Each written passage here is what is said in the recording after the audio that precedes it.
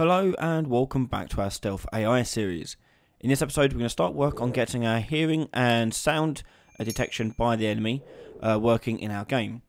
Now, in this episode, we're going to focus on getting our character to make footstep sounds and generate noise reports for the enemies to pick up on. So, uh, to get started, I've created um, myself some footstep sound effects, which I've got here here and here. You'll find these linked in the description below uh, where you can find all the series assets. So by all means, please download them and use them as you wish and import them into Unreal. And you've got uh, three different, uh, slightly different footsteps. Okay. Now, what we're going to do is make it generate uh, a footstep sound effect randomly from these three. So to do that, we need to make a cue. So I'm going to go to the first one here, right click on it, and go up to the top. It says create cue and we call this one uh, footstep q SFX and open it up. Now, because we right clicked on the first one, it comes in with the wave player footsteps 1, but I actually wanted to do three of them randomly, so it's going to choose one at random. So on the right hand side, you'll find the option for random. You want to click on this and drag this out onto your graph. And in here, we're going to plug in our footstep into the side here.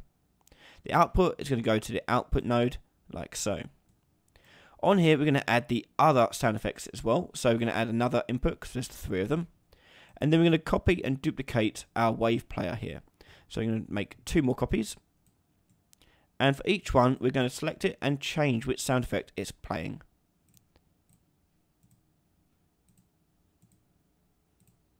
And then plug that into your random node. And that is it. That's all we have to do. So now it's going to choose one at random to play. This ensures that your footsteps are uh, not always the same sound. It, otherwise, it does sound a bit weird when you see the same sound effect uh, happening. So head on over to our blueprint for animation. And in here, we're going to go to the bottom where you see Asset Browser. Now you want to find the assets required for your walk and run. So you'll find these all over the place because we've got multiple things going on here. So let's just go first of all to uh, our jog and do jog rifle. And in here we need to find when the foot hits the ground. So not that first one, but this one here. So I'm going to right click in here, and notify. And you may see a play sound notify here. Now, if we were doing no extra code on it, like not reporting the event, then that's totally fine to use. However, we're doing something with it. We're making the enemy hear it. So in that case, we need to do something more. So we're going to need to do a new notifier. And in here, I'm going to call it foot step. And I'm going to right click and copy on that. And then go to the, where the next foot touches down, which is there. And then paste out notify again. And do this for the whole track. So again there. And one more there. Okay. So you see this happening here. Now you want to do that for all the assets required for movement. So this is jog forward. So I'm going to go around and do the other ones. So you could do jog backwards.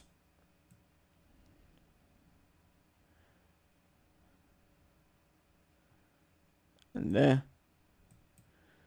Right click, paste. And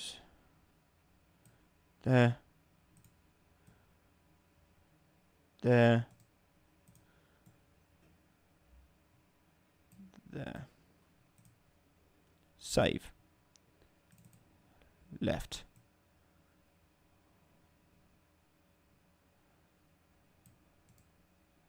Paste.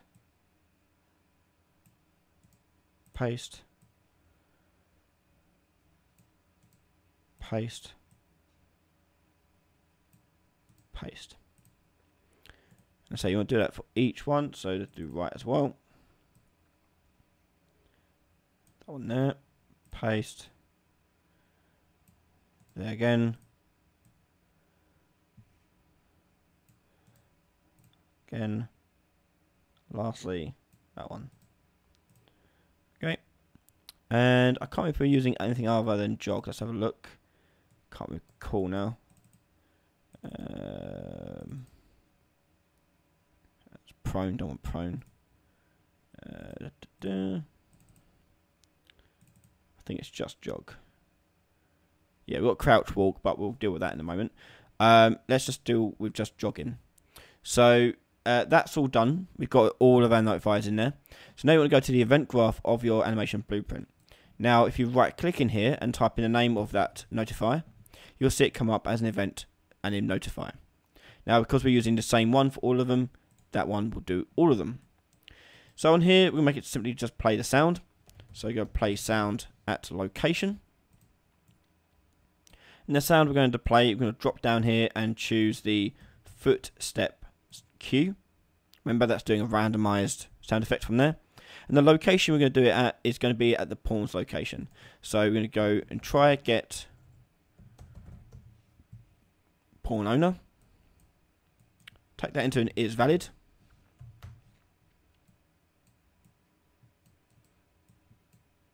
Uh, oh, and plug that in there. If it is valid, we're going to use the location of it. So get actor location and push play. Not push play, sorry, plug it in. Um, there are more options, so if we expand open the show advanced, we can see a lot more options here. We'll be coming back to this later. Okay, that's important. We'll be coming back to this later. So once we've done that, I'm just going to do a little print string on here so you guys can uh, see it as well as maybe hear it. I don't know if it'll come through in the video, uh, but we'll say hello if we every time we walk. So now if I push play, I've now got sound effects playing for each step.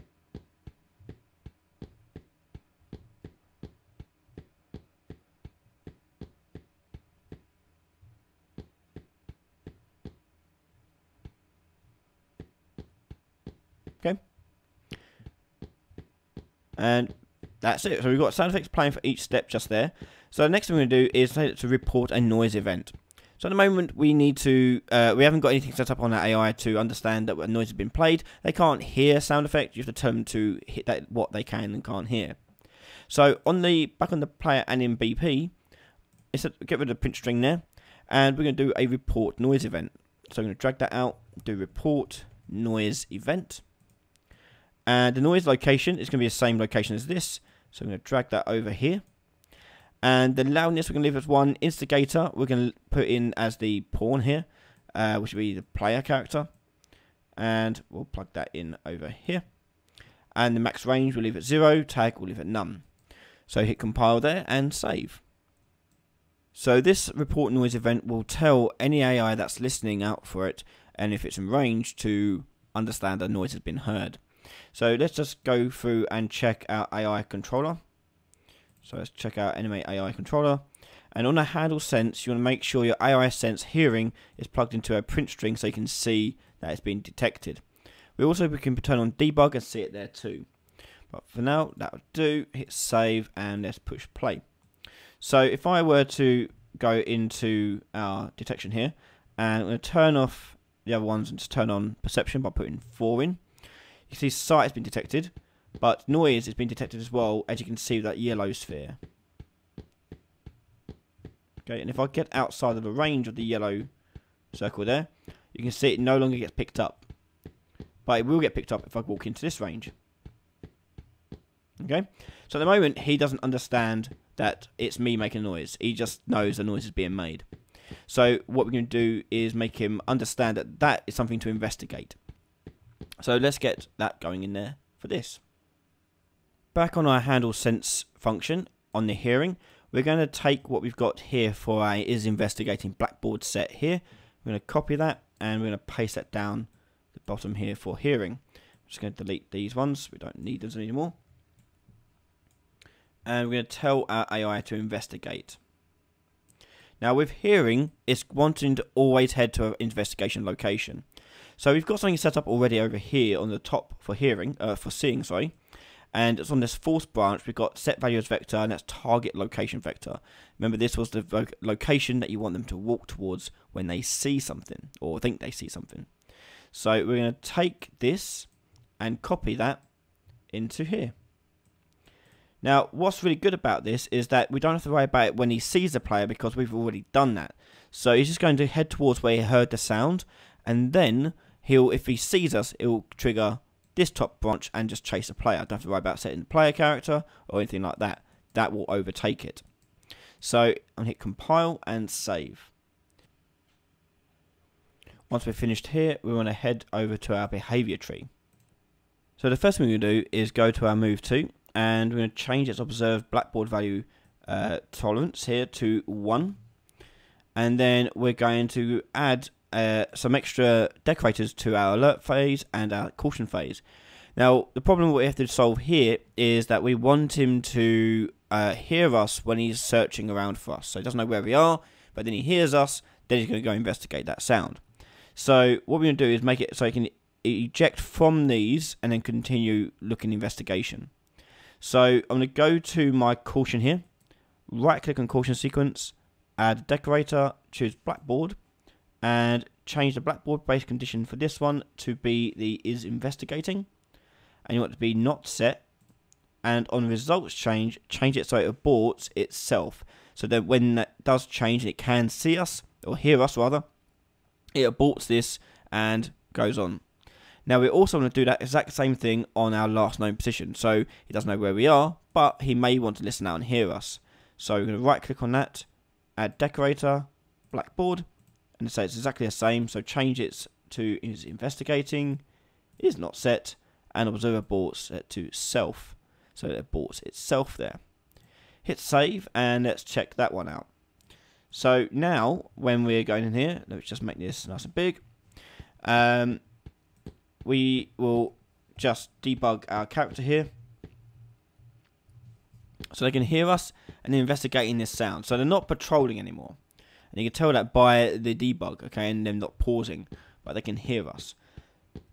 Okay, so he's constantly chasing where he's heard the footsteps. But what if he sees us? He now sees us, he changes his speed, and he gives chase.